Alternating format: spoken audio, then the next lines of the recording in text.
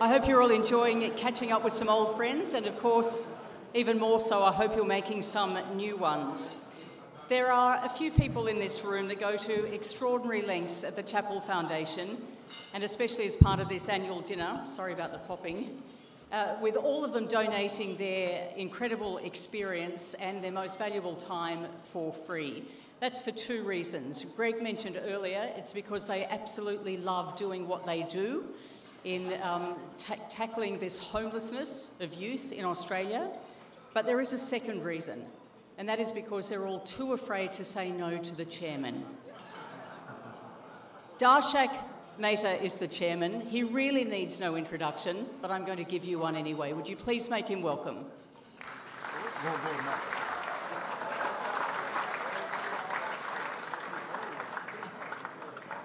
What do you think this is, Arjun? Respectable people, former prime ministers, former premiers, and you're playing this lady with the lascivious lips and thirsting hips? Jeez.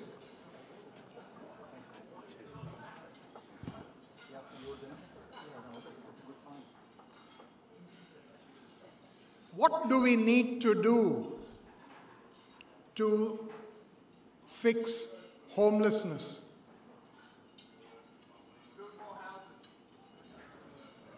Well, thank you.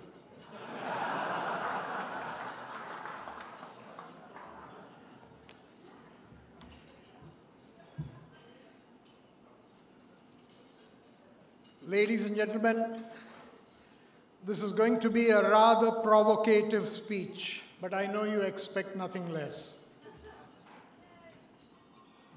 I hope some of you shift uncomfortably in your seats. I hope some get upset, even angry.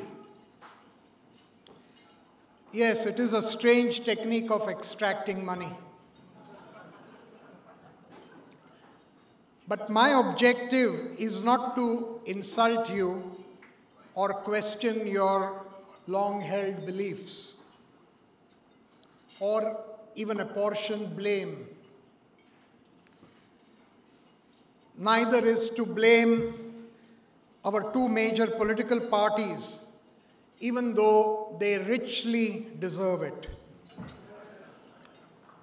It is to simply give you some context so here I go, foot firmly in the mouth, and I will stop occasionally just to change feet. Or when the emotion of my own arguments overcomes the idiot making them.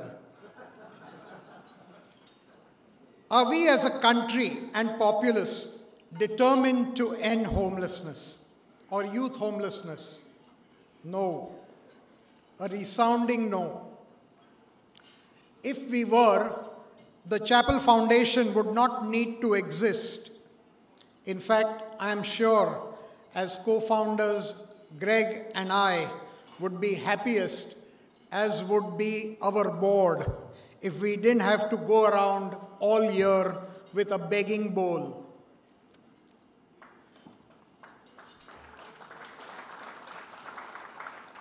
We have, as a country, fought every damn war waged in the world over the last 125 years. None on Australian soil. Usually to suck up to the Yanks and the Brits or simply bail them out from their stupidity, vanity, or pig headedness. And we have tragically, in that process, lost an entire MCG population of young men for this appeasement. But we refuse to fight the one war which is most pressing and which is on our soil the war on homelessness. I apologize for using the word war for it implies violence, trauma, suffering, and death. But the homeless experience all of these disproportionately anyway. We have all the weapons to control, to combat homelessness. Just simply not the will or the backbone. It is galling. On census night in 2016, 19,400 kids aged between 0 to 14 were classified as homeless. What kind of country?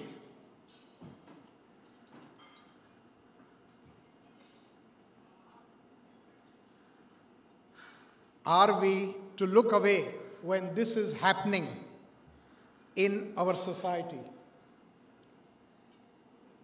Here is the polemic.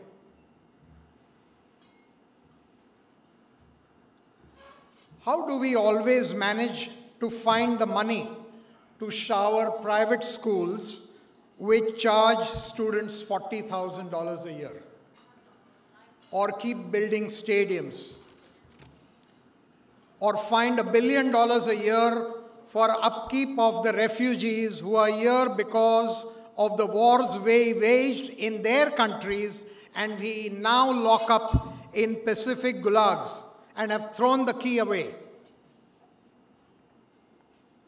Or order eight tokenistic nuclear powered submarines for delivery 18 years from now, hoping that these tinnies will dissuade the 530 ships of the People's Liberation Army Naval Force. Or find 600 million for car parks which no one even wanted. Or half a billion dollars for the Australian War Memorial.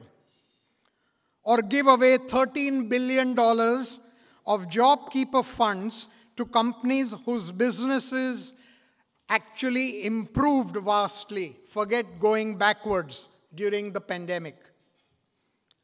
But we can't find enough funds to build modest, basic homes for those who need them most? Do we want to keep them begging in our streets? Or push drugs? Or turn to violent crime to make a living? Can we afford $125,000 a year to then maintain them in jail without a hope in hell of reforming them? If you share my indignation, let's have an in- insurrection.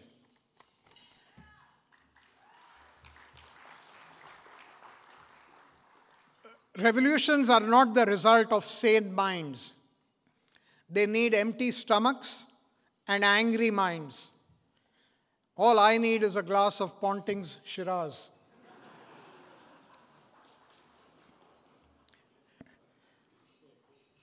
Our board had an interesting meeting last year with James Allen.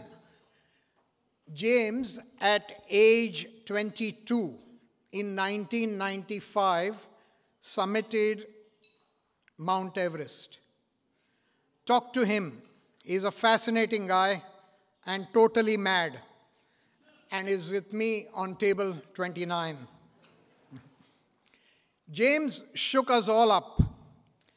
He said, Stop talking about amelioration of youth homelessness and start demanding elimination and working towards it.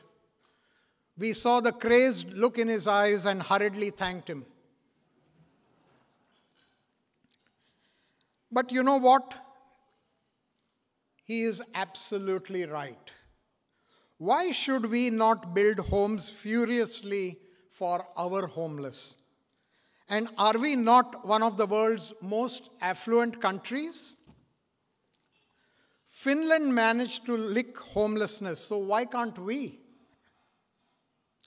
How long are we going to keep making excuses about balancing our budget?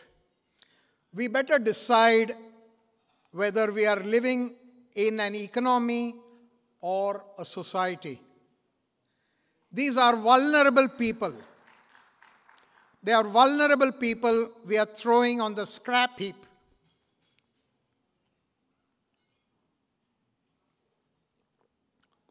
Without a thought. Are we only going to notice them when we have a slum at Martin Place or here in Driver Avenue? Many questions, but the answer is the bleeding obvious. Build more, much more, tens of thousands more of social housing every year. Youth homelessness, indeed, all homelessness, is a blight on our country and a scandalous failure of government. Social housing will not solely fix the problem of youth homelessness, but by golly, it is a great start. And everything else can follow and help. Before I conclude, I want to thank our board of directors and treasurer, an extremely passionate and committed group of men and women who never shy away from rolling up their sleeves. So thank you very much, guys.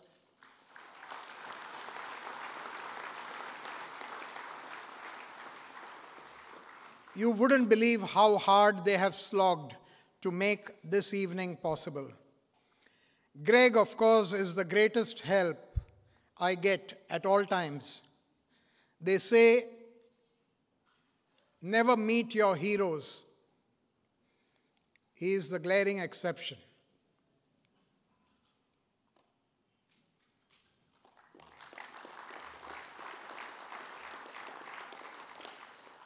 we happen to know how hard it is to put an evening like this together. Two months ago, I even had a few isolated strands.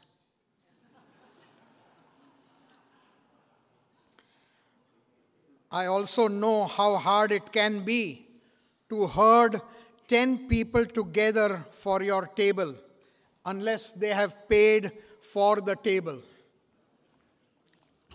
Some people have little commitment. Executive assistants get driven batty by the musical chairs and lose hair without even undergoing chemotherapy. The fact that you still continue to do this and come and support us is simply overwhelming. Thank you very much.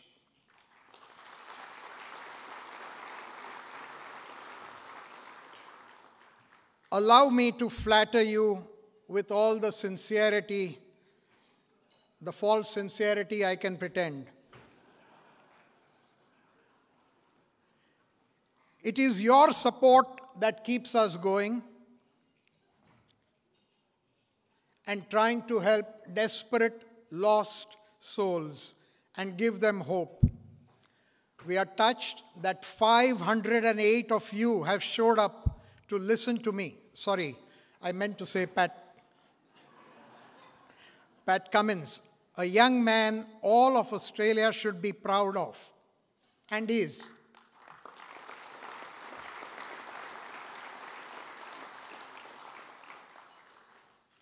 And those of you who haven't paid, we know your names.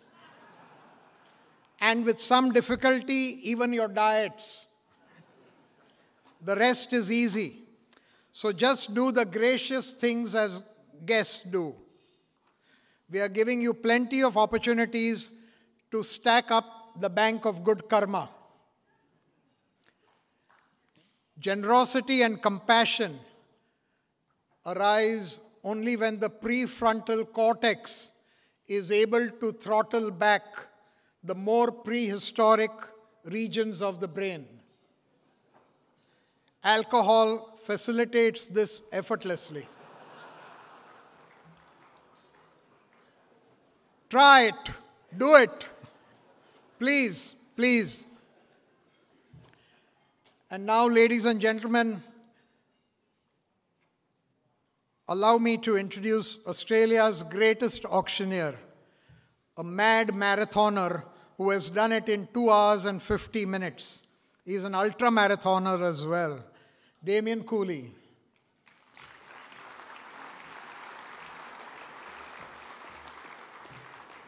Please, please, please spend money you haven't earned to buy things you don't want to impress the people you don't like.